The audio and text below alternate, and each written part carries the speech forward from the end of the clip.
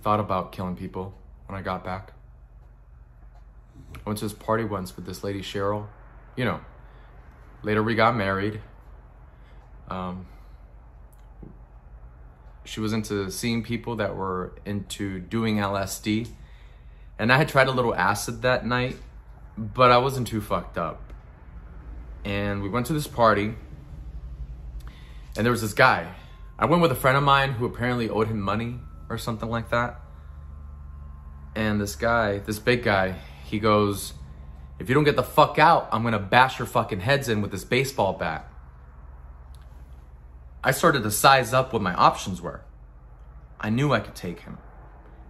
Yeah, he had a baseball bat, but I grabbed one of those long neck glass bottles and I went and stuck it right to his face. I mean, I killed him. I mean, in my mind. Slashed his throat and everything. My wife saw this and she went, she pulled me back.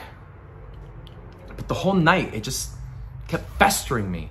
I want to kill him, I would say.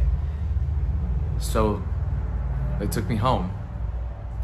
But it wasn't until the next day that it actually hit me.